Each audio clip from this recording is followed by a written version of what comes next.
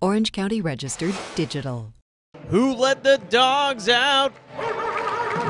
Ah, I've always wanted to do that. Mater Dei faces Pasadena in the Orange Holiday Classic Final. Rex Pflueger had himself a game. Here he is in the first, dialing up long distance. Later in the second, the junior flies in and cleans up the garbage. So where's Stanley Johnson? Bailey Stout knows where he is. Hey, Aliupa! And what about this crazy play? Crossover and a scoop special. Mater Dei leads 36 25 at the half.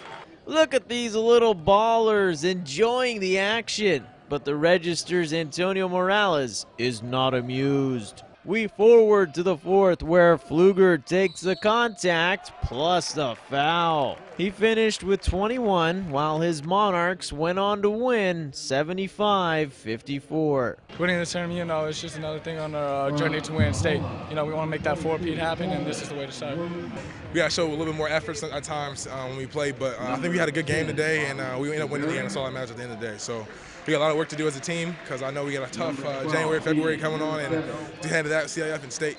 So um, it's gonna be a tough. Well, we got to keep practicing. Jonathan Khamis for OC Varsity. Orange County Register. We are here in the service of Orange County.